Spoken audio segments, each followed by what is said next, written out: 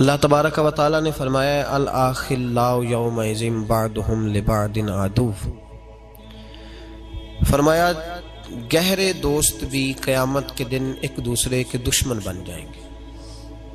खिल्ला, गहरे दोस्त। क़यामत के दिन एक दूसरे के साथ दुश्मनी करेंगे। इल्लल मुत्तकीन। मगर जो परहेजगार होंगे, वो दुनिया में भी दोस्त रहेंगे, क़यामत में भी दोस्त रहेंगे। मुत्तकी परहेजगार लोग, अल्लाह से डरने वाले, अल्लाह के वली, अल्लाह के बंदे। उनकी दोस्ती यहाँ भी कायम है तो वहाँ भी उनकी दोस्ती कायम रहे। ये कुरान मजीद है, कुरान पाक है। ये किसी वायस का खिताबत के जोश में कहा हुआ जुमला नहीं, कि हम कयामत में भी वलियों के साथ होंगे। ये अल्लाह का कुरान है, ये अल्लाह का फरमान है। ये वो हकीकत है जो क़यामत तक के लिए हकीकत है।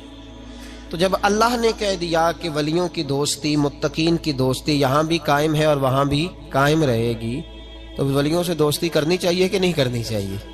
नबी पाक सैयद आलम सल्लल्लाहु अलैहि वसल्लम के सहाबा ने एक और मसला भी इसके साथ हल किया। एक और मसला भी। एक तो अल्लाह ने कहा अल अल मुत्तकीन। गहरे दोस्त कयामत में दुश्मन बन जाएँगे, मगर मुत्तकी और परहेजगार दुश्मन नहीं बनेंगे, वो दोस्त ही रहेंगे। हज़रत अबूजर गिफारी ने अर्ज़ किया, मुस्लिम शरीफ में मौजूद है। अर्ज़ की यारसूल अल्लाह सल्लल्लाहु अलैहि वसल्लम, एक आदमी कुछ नेक लोगों से मोहब्बत करता है, पर उनकी तरह के काम नहीं करता। ये नहीं फरमाया कि मुसलमान ही नहीं, जुल्म करता है, ज़्यादा। ये नहीं कहा, इसका ये तर्जमाना कर लीजिए। कहने का मतलब ये कि या रसूल अल्लाह वसल्लम, जिस आला पाए के वो नेक हैं, ये उस आला पाए का नेक नहीं। अगरचे नमाजी है, इबादत गुजार है, अल्लाह के हलाल को हलाल, हराम को हराम जानता है, लेकिन उस पाए का नहीं जिस पाए के वो वली है। तो या रसूल अल्लाह सल्लल्लाहु अलैहि वसल्लम, अब क्या हुक्म है? अब क्या हुक्म है? नबी पाक सल्लल्लाहु अलैहि वसल्लम ने फरमाया, वो मोहब्बत सच्ची करता है। हजूर मोहब्बत सच्ची करता है तो फरमाया, फिर अल्लाह का वादा है। और अल्लाह का हबीब तुम्हें गारंटी देता है, जो जिससे मोहब्बत करता है, कयामत में उसी के साथ उठाया जाएगा। उसी के साथ उठाया जाएगा। वजाहत कर दी इस बात की। वजाहत अलमर मन अहब्बा। आदमी जिससे मोहब्बत करेगा, क़यामत में उसी के साथ उठाया जाएगा। अलिया अल्लाह का दोस्ताना, उनका यराना, उनकी बैत, उनकी मोहब्बत, उनके साथ ताल्लुकात ये अगर दुनिया में मज़बूत है तो कयामत में भी मज़बूत ही रहेंगे। ये मेरे हबीब पाक का फरमान है।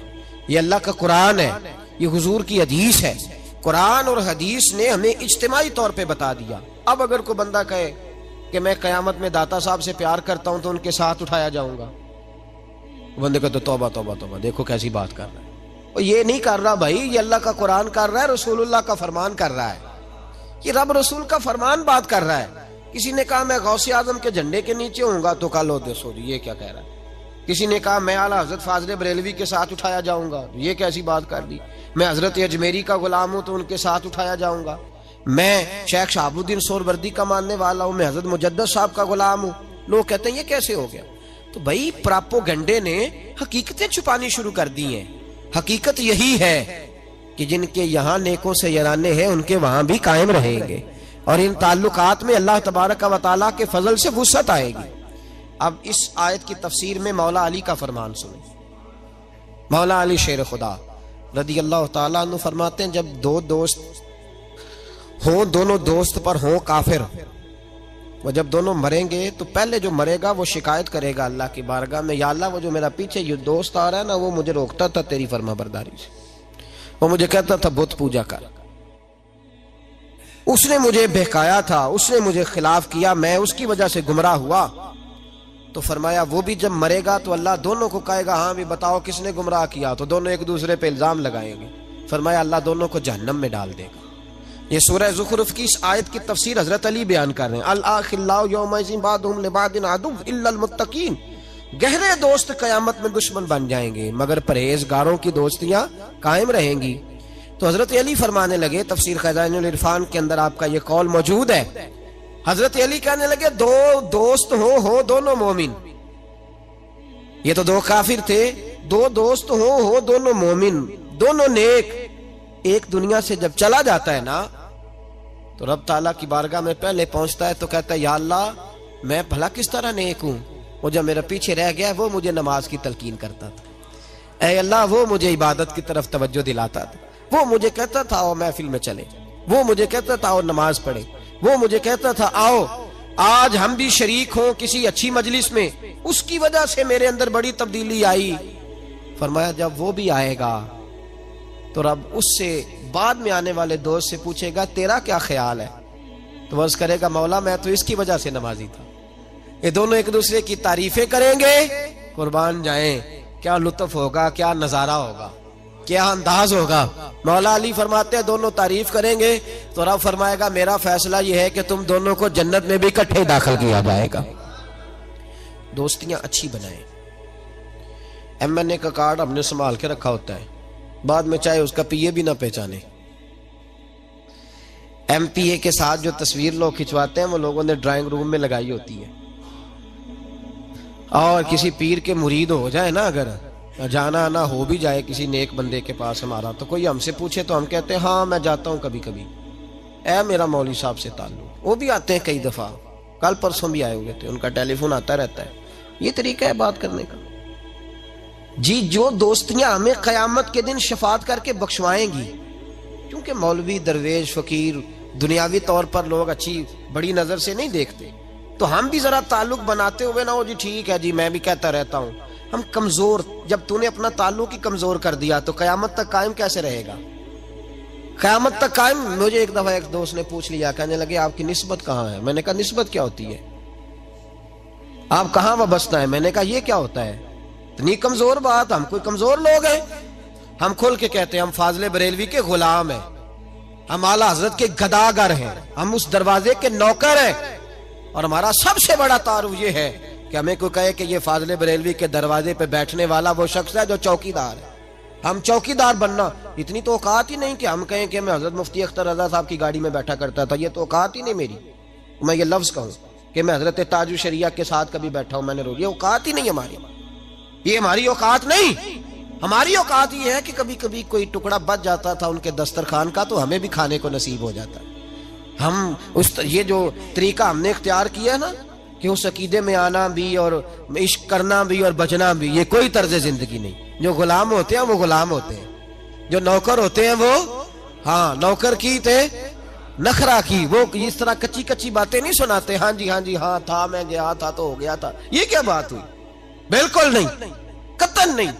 मेरे एक शख्स ने नाम लिया मोहम्मद अजमल। और मैंने कहा, भाई, पूरा नाम मोहम्मद अजमल रजा कादरी है मेरा। और मैंने अपनी वसीयत लेके रखी हुई है। वसीयत। तो मैंने लिखा हुआ है कि जब मैं मर जाऊँ तो सबसे पहले मेरी कबर पे कादरी लिखा जाए। इसलिए कि ये मेरी निस्बत है और मुझे उम्मीद है कि सुबह कयामत जब मैदान अशर में उठाया जाऊँगा तो इसकी बरकत से अल्लाह फरमाएगा, इसको भी बुला लो। ये भी अब्दुल कादर जेलानी का नाम लिया करता था। तो ये कोई ऐसी बात है, कमज़ोर जी, हमें कुरान ने दर्ज दिया है। ये हमें रसूलुल्लाह की फरमान ने दर्ज दिया है। तो कमज़ोर कच्चा अकीदा कभी ना रखो ज़िंदगी में। ये ये ये ये कोई मतलब नहीं है कि वहाँ हो गया तो कर लिया तो थे तो आए थे। क्या मतलब है इस बात का? कोई तर्जमा नहीं इस बात का। अपने अंदर कुत ताकत और जौक पैदा करो इस्तलाल पैदा करो। हम दाता अली अजमेरी के मानने वाले हैं। है कि नहीं? और अलहमदुल्ला डंके की चोट पे मानने वाले हैं। मुझे एक शख्स कहने लगा दाता साहब गए हो? मैं गए नहीं, हाजरी देते हैं। गए क्या होता है? हम दाता साहब और इन ताला ज़रूर देते हैं। दाता साहब, कोई मामूली आदमी है? दाता अली अजमेरी, वलियों के इमाम है। ये गौस पाक से पहले के बुज़ुर्ग हैं। साढ़े जरा नेड़े ने ना, जेडे खाना काबा काम करते तवाब थोड़ा ही करते हैं वो कहते नेड़े ये टुर जाएँगे अगले दिहाड़े फिर। दाता साहब जो है ना, ये गौस पाक से कितना उर्स है दाता साहब का ये वाला? नौ सौ छिहत्तरवा नौ सौ बोल के बताए सारे सारे जेडे जेडे कदी नहीं बोले वो भी बोलो नौ सौ ਜਿਹੜੇ ਬੰਦੇ ਕਹਿੰਦੇ ਨੇ ਉਰਸ ਅੱਜ ਦੀ ਪਦਾਇਸ਼ ਹੈ ਇਹਨਾਂ ਨੂੰ ਪੁੱਛੋ 976 ਸਾਲ ਤੇ ਉਹਨਾਂ ਨੂੰ ਹੋ ਗਏ ਨੇ ਉਰਸ ਹੁੰਦੇ ਆ ਤੁਸੀਂ ਦੱਸੋ ਬੇਲੀਓ और अजीब तर्जमा लोग कहते किसी सियाबी का उर्स हुआ है तो बताए हाँ जी हुआ है मेरे नबी पाक हर साल ओहद के शहीदों के मज़ारों पे जाया करते थे पढ़ो इमाम राज़ी की तफसीर। हज़रत अबू बकर सिद्दीक हर साल शुहदाय उहद के मज़ारों पे जाया करते। हज़रत उमर हर साल जाया करते। हज़रत सैदना मौला अली शेर खुदा हर साल जाया करते थे। तो हर साल अगर मज़ार आते उहद पे जाना मुस्तफ़ा का तरीका है तो हम किसी वली के मज़ार पे जाए तो क्या गलती हो गई? इसमें क्या कोताही हो गई? ये हमने वहाँ से लिया है। ऐसे कच्चा कच्चा कमज़ोर कमज़ोर से ना बनाओ। ए ना कि ना खुदा ही मिला ना विशाले सनम ना इधर के रहे। ना उधर के रहे। जिस तरफ़ हो, तगड़े होके रहो। दो घरों का तो मेहमान भी भूखा रहता है। तगड़े हो। अकीदा मज़बूत। ये अलग बात है कि मलंग तलंग को और टाल शाल पहनने वाले को हम वली मानने को तैयार बिल्कुल नहीं, कतन नहीं। और बड़े पीडे लोग हैं। मेरे आला हज़रत फाजल बरेलवी से एक शख्स ने पूछा, आला हज़रत फाजल बरेलवी, और दलील मैं दूँगा? इन लोगों को तो तोहीद की हवा भी नहीं लगी। तोहीद का सबक अगर पढ़ाया तो बरेली के इमाम ने पढ़ाया है। तो हवा भी नहीं लगी। आला हज़रत रहमत फरमाते, कबर को सजदा करना तो दूर की बात है, मैं तो चूमने की भी इजाज़त नहीं देता। मैं तो हाथ लगाने की भी छुट्टी नहीं देता। चार हाथ दूर खड़े रह के फातिहा पढ़ो। और मैंने प्रिंट करा के फतावा आला हज़रत की। पिछले साल मेरा मजमून अखबार में छपा। मुझे एक शेखपुरा के वकील साहब ने टेलीफोन किया। कहने लगे, जी, मैंने एक्सप्रेस में पढ़ा है। तो आप दिखा सकते हैं कि इमाम अहमद रजा बरेलवी ने ये कहा है।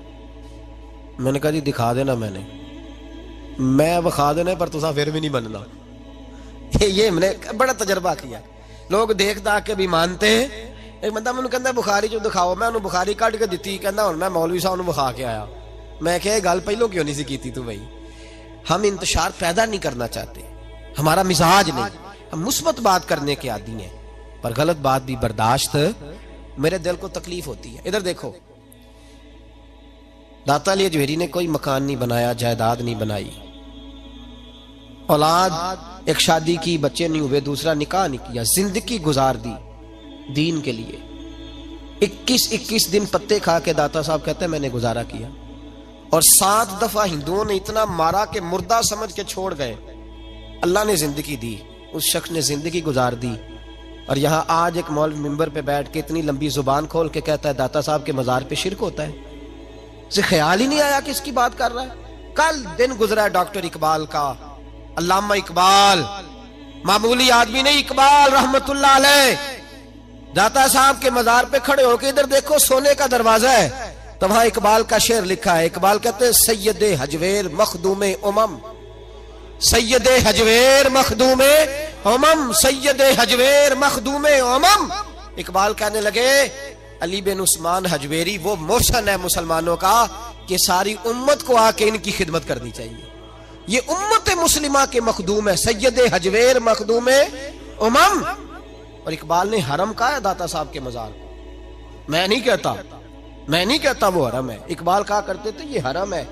इसलिए कि यहाँ मोइनुद्दीन अजमेरी जैसे लोग आके वजीफे पढ़ते हैं। वो चिल्ले करते हैं यहाँ आके। मामूली बात है, मैंने कहा आपका जरा करीब है। एक अंग्रेज़ आया था, दौरा करके गया वापस। किसी ने कहा, लाहौर भी देखा है। उसने कहा, देखा है का शीश महल भी है का है। मीनारे पाकिस्तान भी है, कहा, है। उसने कहा, यार, बड़ा कुछ है कुछ है, देखी तूने? कहा हाँ बड़ा कुछ देखा है और लाहौर में मैंने एक कब्र देखी है। वो कब्र इस तरह की है कि मुसलमानों के दिलों पे हुकूमत कर रही है। दिल कब्जे में है उस दरवेश की, उस सूफी के कब्जे में। हमारे नेड़े है ना जरा उस तरह की कदर मंजिलत वरना हज़रत अजमेरी, हज़रत बाबा फरीद साहब, ये सारे लोग यहाँ हाजिरी देना हज़रत सुल्तान बाबू जैसे लोग इनकी तारीफें करते हैं। कहते हैं, ये बड़ा आदमी है भाई अलेजवेरी बड़ा आदमी है। तो इन सूफिया का प्यार, औलिया का प्यार, निसाई शरीफ, सुनो निसाई का हवाला, मेरे रसूल पाक सल्लल्लाहु अलैहि वसल्लम ने फरमाया, कयामत के दिन किसी को ताकत नहीं होगी अल्लाह की बारगाह में बोलने की। निसाई शरीफ अर्ज़ कर रहा हूँ। और सियासता की रवायत इब्ने माजा में भी मौजूद। किसी को ताकत नहीं होगी रब करीम की बारगाह में बोलने की। लेकिन फरमाया, अल्लाह की बारगाह में कयामत के दिन सबसे ज़्यादा तकरार कुछ नेक लोग अपने दोस्तों के बारे में करेंगे। तकरार करेंगे। अल्लाह की बारगाह में अदब के साथ, नाज के साथ। दूसरा तर्जमा यह कर लो कि अल्लाह की तोफीक से बोलेंगे। अल्लाह खुद चाहेगा ये बोले। अल्लाह फरमाएगा, जाओ जन्नत में नेक लोगों को तो हुजूर फरमाते हैं, वो कहेंगे, या अल्लाह, पहले उन्हें भी बुला जो हमारे साथ नमाजें पढ़ते थे, जो हमारे पीछे जुमे पढ़ते थे, उन्हें भी बुला, जो हमारे साथ शरीक होते थे, बुला, ये मुस्तफ़ा के लफ्ज हैं। नबी पाक सल्लल्लाहु अलैहि वसल्लम फरमाते हैं, रब करीम फरमाएगा, वो तो जहन्नम में है, उनके तो गुनाह ज़्यादा, पाप ज़्यादा। तो वर्ज करेंगे, मौला, पहले उन्हें बुला, तब हम जन्नत में जाएँगे। तो अल्लाह फरमाएगा फाखरिजू मन अरफ्ता जाओ ये लफ्ज है हदीस के।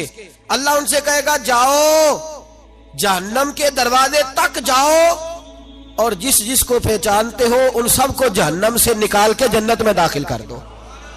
ये अल्लाह इख्तियार देगा अपने नेक बंदों। ये अल्लाह इख्तियार देगा अपने नेक बंदों को कि जाओ, जिस जिस से तुम्हारी वाकफियत है ना, मन अरफता हूँ जिस जिस को तुम पहचानते हो, जिस जिस से वाकफियत है, उसे निकाल के जन्नत में, और मेरे नबी पाक का तो मिशकात में ये फरमान भी मौजूद है एक एक गुनागार ने किसी अल्लाह के वली को वज़ू कराया था। और एक हदीस में ये है कि एक प्याला पानी का पिलाया था। वो गुनागार जा रहा था जहन्नम की तरफ़ फरिश्ते ले जा रहे थे। वली जन्नत में जा रहा था तो अल्लाह ने मुलाकात करा दी। मुलाकात किसने कराई? नहीं, किसने कराई? अल्लाह, इसका मतलब है वलियों से मुलाकात भी अल्लाह ही कराता है। अल्लाह ने मुलाकात करा दी। तो फरिश्तों से छुड़ा के वो बंदा दौड़ा। बाबा जी से कहने लगा, मुझे पहचानते हो? उन्होंने कहा, नहीं, पहचान करा का हजूर, एक दफ़ा आप हमारे इलाके आए थे। मैंने वज़ू कराया था। मेरे मुस्तफ़ा करीम फरमाते, अल्लाह की तोफीक से वली वापस पलट गए। वो आलिम वापस आ गए। वो नेक आदमी वापस आ और कहा, मौला, मुझे वज़ू कराया, इसने पानी पिलाया। मेरी तो हैसियत नहीं, तू तो जजाएँ देने वाला है ना। और तेरा बंदा समझ के पिलाया, चेहरे पे दाढ़ी देख के पिलाया, दीन का नौकर समझ के पिलाया मुझे इसने मुस्तफ़ा करीम की शरीयत का एक अदना खादिम समझ के तो अल्लाह इस पे मेहरबानी कर। मेरे अभी फरमाते हैं, पानी पिलाने की बरकत से अल्लाह उस गुनागार को भी जन्नत अता फरमा देगा। तो लोग समझते हैं, ये ऐसे ही बात दो चार, ओ भाई, ये मलंग, इनको तो हवा ही नहीं लगी दीन की। जो मलंग तलंग है, ये तो बेचारे घरों से, हुकूक से भागे हुए लोग हैं। वरना औलिया अल्लाह, सूफिया और इनकी अजमत और शान, ये पूरा चैप्टर है कुरान सुन्नत का। ये पूरा भाब है। और दाता अली अजवेरी हो, हज़रत मुजद्दद अल फिसानी हो, या आला हज़रत फाजले बरेलवी हो, इन लोगों ने अपनी तालीमात पेश की। हमारे जमाने में तो मुरीद हो जाए तो उसको भी नहीं ना कहा जा सकता कि तू नमाज़ पढ़। तो ये लोग तो हिंदुओं से टकराते रहे। हमारे हुक्मरान भाग के जाते हैं। दिवाली में, होली में, मंदिरों में, गिरजों में दौड़ दौड़ के जाते हैं, दुआएँ कराते फिरते हैं माजल्ला ईसाइयों से। आला हज़रत फाजल बरेलवी रहमत बरेली शरीफ में कसरती हिंदुओं की। लोगों ने कहा, हजूर, गाय की कुर्बानी ना करें तो बेहतर है, हिंदू बिगड़ जाएँगे। फरमाया यही तो मौका मिला है इस्लाम की सदाकत पर अमल करने का। यहाँ तो हक बयान करना बड़ा ज़रूरी है। फरमाया यही तो वक्त है। अब अगर हिंदू नमाज़ से बिगड़ेगा तो हम नमाज़ छोड़ देंगे। अगर रोज़े से बिगड़ेगा तो रोजा छोड़ देंगे। फरमाया हमने करना है। आला हज़रत रहमत का जो पड़ोसी था, वो बड़ा मालदार हिंदू था। उसने कहा गाय ना जिबा करना वरना झगड़ा हो जाएगा। फरमाया, झगड़ा नहीं हो सकता, इसलिए कि ये मेरे रसूल की सुन्नत है। और मैं ज़िंदा करूँगा इस सुन्नत को। आला हज़रत ने कसदन गाय जिबा की। कुछ ना कर सका। इत्तेफाक की बात रात को बारिश हो गई। तो जो उस हिंदू की तरफ़ आला हज़रत रहमत की दीवार थी ना घर की, वो दीवार गिर गई। तो फासले बरेलवी कहने लगे, सारे अंदर सो जाओ, मुझे सेन में सुला दो, मैं खुद हिफाजत करूँगा घर सेन में बिस्तर कर दिया। तो उस दीवार पे पर्दा डाल दिया, तार बाँध के, रसई बाँध के पर्दा डाल दिया। वो हिंदू रात को खंजर लेके आया। चीखे मारता भाग गया। सुबह फजर की नमाज़ के लिए फाजले बरेलवी रहमत मस्जिद की सीढ़ियाँ नमाज़ पढ़ के उतरने लगे तो कदमों में बैठ गया। कहने लगा, माफ़ भी कर दे, कलमा भी पढ़ा दे। फरमाया, तुझे क्या हुआ? कहने लगा, रात में आया था मारने के लिए, पर एक शेर आपकी हिफाजत कर रहा था। पहले बताओ तो सही, वो कौन है? अला हज़रत रो पड़े। फरमाने लगे, तू मुझे लवारस समझता है? तूने समझा था मैं लवारस हूँ? जिस रसूल के नाम पर मैं इतने बड़ा खड़ा हो रहा हूँ इस्तकामत का मुजाहरा कर रहा हूँ मुझे लवारस फरमाया, वो मदद थी जो मेरे रब ने मेरे लिए भेजी थी। अल्लाह की भेजी हुई मदद थी। और फरमाया, आइंदा ज़रूरत ना करना। उसने कहा ज़रूरत किसने करनी है? मैं तो कलमा पढ़ने आया हूँ। मुसलमान कर। हिंदुओं से टकराते रहे। इन लोगों ने बड़े जतन करके दीन फैलाया। बड़ा मुश्किल था हमारे तो। यहाँ हक बात कहना, किसी को समझाना बड़ा मुश्किल हो गया। हिंदू, सिख के सामने, आर्या के सामने, पंडितों और जोगियों के सामने खड़े हो जाना और फिर डट कर दीन की बात करना। किसी ने पूछा था आला हज़रत से, दो तीन तालीमत सुन लें इन ताला बातें होती रहेंगी। फाजल बरेलवी रहमत से किसी ने पूछा था, हुजूर, ये जो हिंदू होली पे मिठाई बांटते हैं तो वो, चूँकि गैर मुस्लिम का सिर्फ़ जबीहा हराम है। जानवर जिबा करे तो फिर हराम है। वो नहीं खा सकते। बाकी में फुकाहा गुंजाइश देते हैं, इजाज़त देते हैं। हुजूर होली का मौका है। और हिंदू मिठाइयाँ बांटते हैं तो क्या हुक्म है? फरमाया, बिल्कुल नहीं लेनी। करीब भी नहीं जाना। हम, और यहाँ तक फरमाया कि उनकी किसी जलसे में भी नहीं जाना। उनकी किसी मजलस में भी शिरकत, फरमाते, रांगना चढ़ा लेना, शैतान का पता नहीं चलता। वो किस वक्त क्या दिल में वसवसा पैदा कर दे? किसी हिंदू, सिख बद मज़हब के करीब जाने की तुम्हें इजाज़त है? ये आला हज़रत का फतवा है। और यहाँ तो जिसका जो दिल करता है ना किसी लंबे बाल रख लिए, किसी ने उससे लंबे रख लिए। पीर आ गए मैदान में। हाँ जी, पीर का में मॉडल ज़्यादा है। इधर लाइनें लटकी हुई हैं बालों की, इधर लाइनें लटकी हुई हैं। और तस्वीरें ऐसे खींची हुई हैं जैसे अल्लाह खैर फरमाए। तो काजी, इसकी करामत क्या है? कहते हैं, दाम बड़ा चंगा कर है क्या तमाशा है। क्या चक्कर चलाया हुआ है? वली के लिए हुजूर की सुन्नत पे अमल करना ज़रूरी है। दाम दरूद ज़रूरी वो तो एक जिमनी चीज़ है। किस चीज़ को दीन बना लिया लोगों ने? मेरे नबी पाक सलाम की जुल्फे, हुजूर की जुल्फे, हुजूर ने जुल्फे रखी हैं। कभी आधे कान तक होती थी, कभी पूरे कान तक, कभी कंधों तक। मर्द के लिए। कंधों, ये मसला याद रख ले। कंधों से नीचे मर्द के लिए जुल्फे रखना हराम है। हराम। तो जो हराम फेल करे, पीर होने के काबिल है और एलानिया करे, बगैर किसी मजबूरी के करे। आला हज़रत रहमत के पास एक शख्स आया, उसने लंबे बाल रखे हुए थे तो आला हज़रत ने फरमाया, कटवाओ, मर्द को जायज़ नहीं। और नबी पाक सल्लल्लाहु अलैहि वसल्लम ने लानत फरमाई है, उस मर्द पर जो औरतों जैसी शक्ल बनाए, उस और उस औरत पर जो मर्दों जैसी शक्ल बनाए, कटवाओ? तो वो कहने लगा, हुजूर वो हमारे एक पीर साहब है, उन्होंने भी रखे हुए हैं। उनके भी बाल लंबे हैं। तो ये बरेली के इमाम है, जिनके अंदर ताकत है हक बयान करने की। आला हज़रत फरमाने लगे, शरीयत रसूल पाक की चलेगी, तेरे पीर की नहीं चलेगी। शरीयत नबी पाक की चलेगी, तेरे पीर साहब की शरीयत। मेरा पीर कोई गलत काम करता है तो इसका मतलब दीन बन जाएगा। पर मैं कोई इजाज़त नहीं। डट करके मुकाबला। और एक एक बंदे ने चोटी रखी हुई थी यहाँ बालों पे ना, थोड़े से बाल छोड़े हुए। आपने कहा ये क्या है? कहने लगा, पीर के नाम की रखा कटवा, पीर के नाम की रखी हुई है। रसूल पाक ने मना फरमाया तो तेरा पीर कौन होता है ये बात करने का? कोई इजाज़त नहीं, कोई गुंजाइश नहीं। हर मकाम हर जगह, आला हज़रत रहमत और इतने पक्के मुसलमान, वो टिकटें आती थी ना?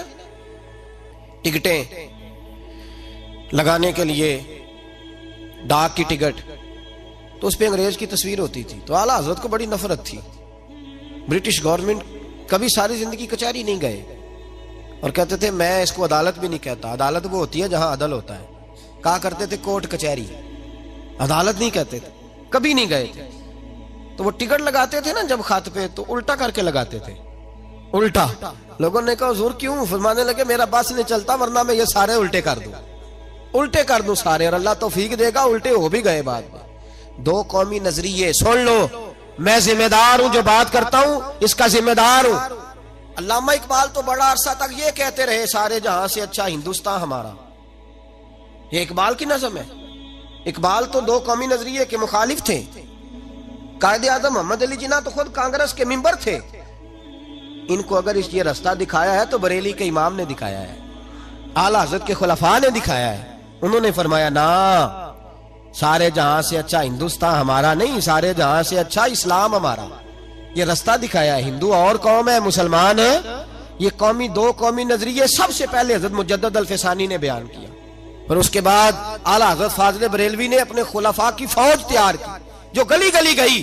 सैयद इदार अली शाह सब खलीफा थे आला हज़रत के, उनके पास इकबाल जाके बैठा करते थे। उन्होंने जेन साजी की, फरमाया तो किधर लगा हुआ है? फिर इकबाल बोले, और फिर इकबाल ने यह शेर कहा कि बाजू तेरा तोहीद की कुत से कवि है। इस्लाम तेरा देश है, तू मुस्तफ़ भी है। इकबाल बड़े मुतासर थे आला हज़रत से, बड़े मुतासर। आला हज़रत की कोई नात आती थी तो कहते हैं, मुझे लगता है, मौलाना अहमद रजा ज़मीन पे बैठ के नहीं लिखते।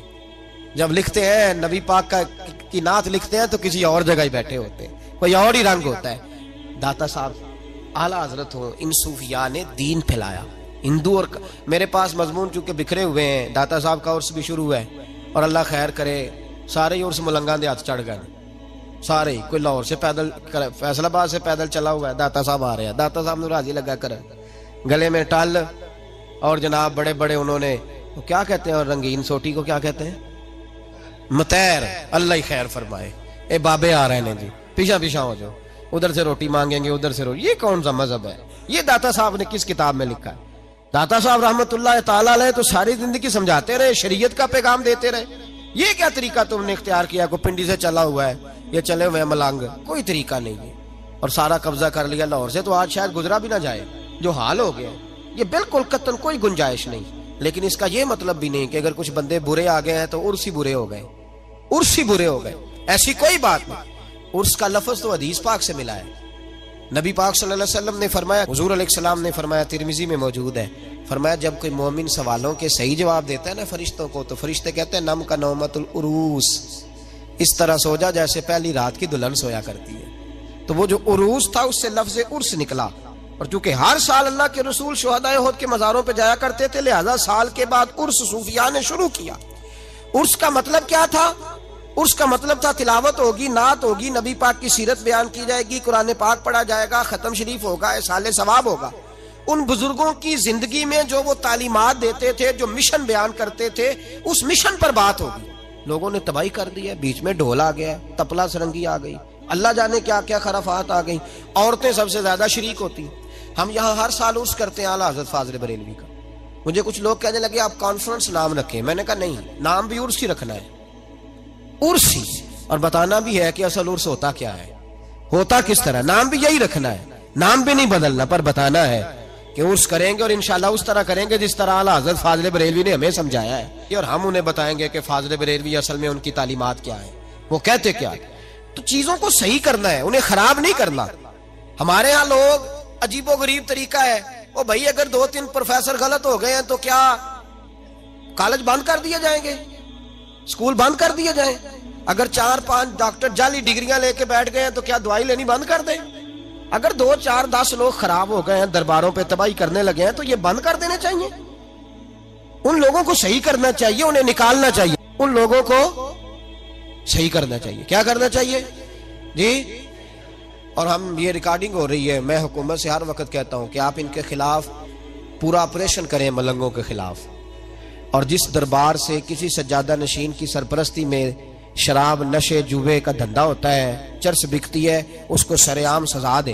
हमारा तो मुतालबा है कि दरबारों से ये गलाजते सारी दूर करें। हमारे बुज़ुर्गों के साथ ये जुलम है जो लोग कर रहे हैं। इसका मतलब ये नहीं कि लोगों में शक पैदा कर दिया जाए। एक बात मुझे बड़ी प्यारी याद आ गई, पर अगर आप सारे मेरी तरफ़ देखें तो फिर सुनाऊँगा। लोग शक पैदा करते हैं। लाहौर का एक मौलवी था तो उसने एक नया शोशा छोड़ दिया एक दफ़ा। गालबन पचपन की बात है। और उस वक़्त के नवाए वक्त में वो सारी चीज़ें छपी। हमें हाजी सादक साहब रहमत की लाइब्रेरी से वो, मैंने सारी चीज़ें देखी, वहाँ उन्होंने रखी हुई हैं संभाल के। उसने देखा ना कि हमने बड़े फतवे दे दिए, पर दाता साहब से तो राज खत्म ही नहीं होता। बड़ा कुछ करके देख लिया।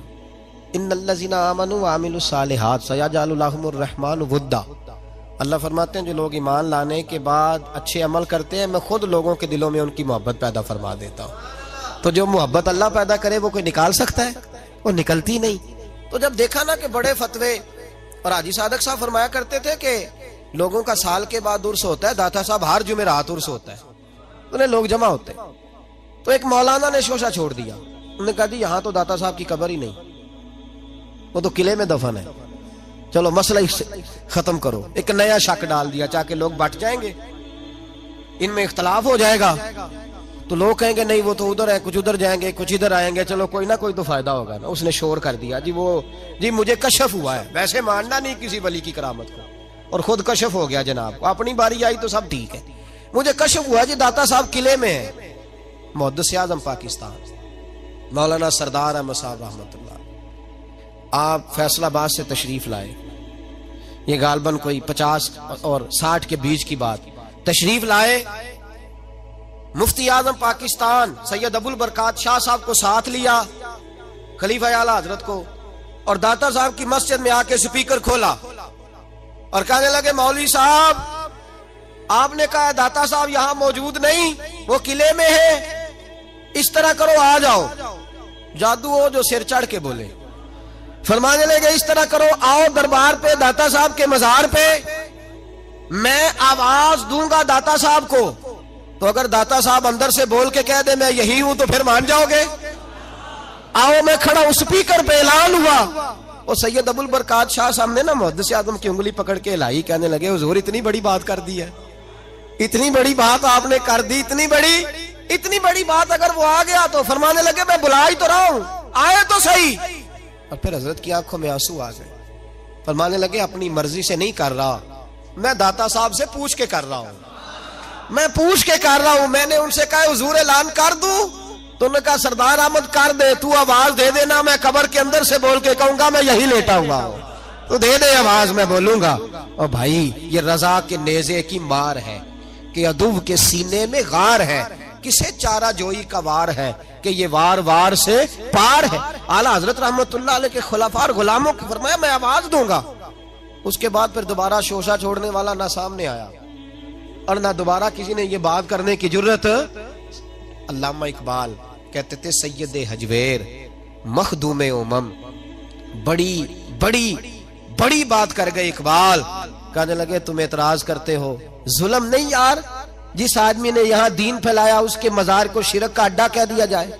इससे बड़ी भी कुछ ज्यादती होगी। मल्लम सवल्लम यशकुरुल्ला मेरे नबी पाक ने फरमाया, अगर तू बंदों का शुक्रिया अदा नहीं करता तो तू अल्लाह का भी नहीं कर सकता।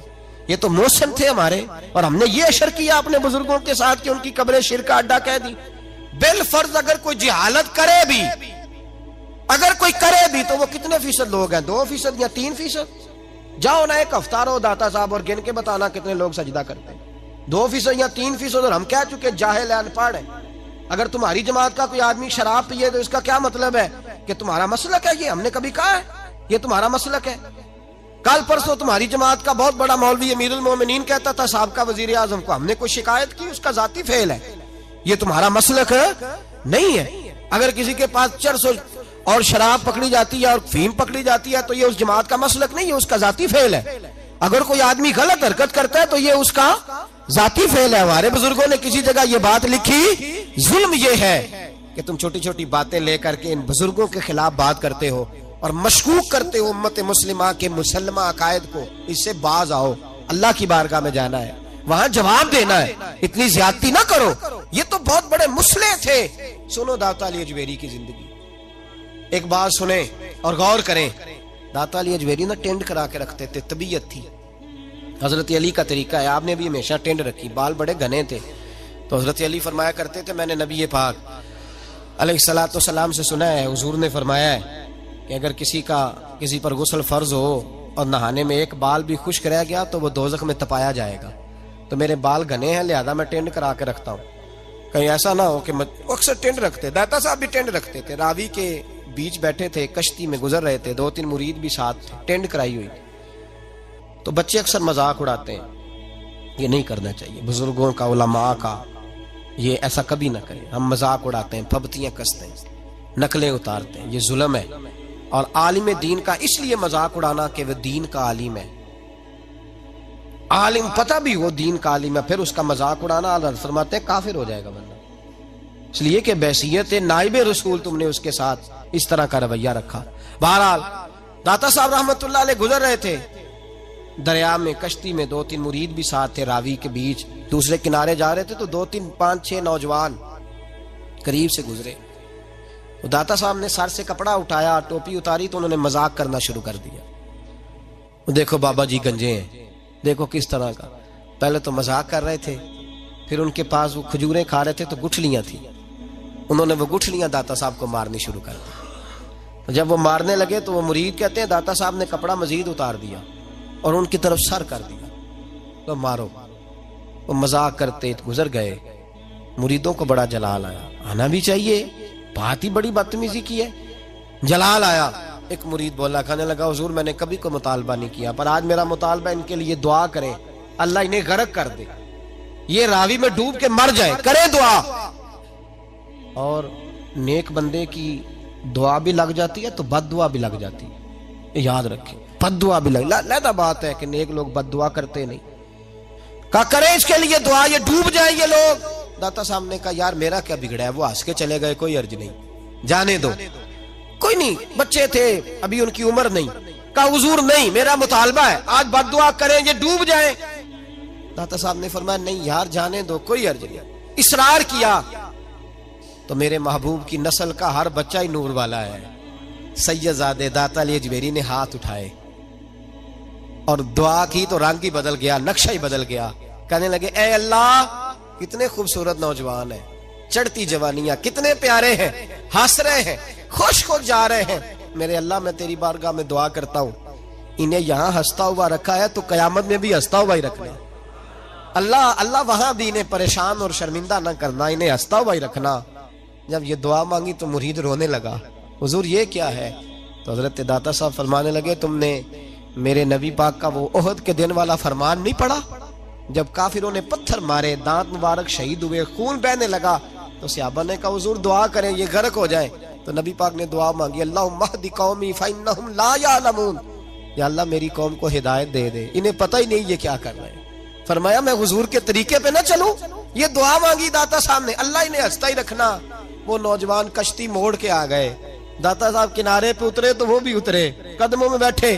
कहने लगे, हुजूर, पता नहीं क्या हुआ है? आगे जाके ख्याल आया, यार, इतना बड़ा बुज़ुर्ग है, और हम ये क्या कर? पता नहीं दिल में क्या हुआ है। मेहरबानी करें, माफ़ भी कर दें, तौबा भी करा दे, मुरीद भी कर ले। दाता साहब फरमाने लगे, शर्त शर्ती है कि रोज मेरे पास पढ़ने आना पड़ेगा। का हजूर, पढ़ा करेंगे? फरमाते हैं, वो सारे के सारे बच्चे दाता साहब ने दीन के आलिम बना दिए। सारे मुबलिक बना दिए दाता साहब ने। कोई बैठा हुआ मुझे दूर दुआ देता है। कोई बैठा हुआ मुझे दूर दुआ देता है। मैं डूबता हूँ, पर समुंदर उछाल देता है। दाता साहब की ज़िंदगी इबारत थी दीन के साथ। बड़ा खूबसूरत वक्त गुजार के गए। वक्त निकाल के जाया करें। सलाम अकीदत दिया करें। कशफुल माजूब उनकी किताब है, खोल के पढ़ा करें। उनकी तालीमत दे के उनके नजरियात पर अमल करें। अल्लाह में समझने की तोफीक दे। आखिर दावाना काफिर इसी पिच हो गया। फिर तशबी मुसल्ला की करना। असा जाहिर नू रब मन्याए बातन दा अल्लाह की करना। असा जाहिर नू रब मन्याए बातन दा अल्लाह की करना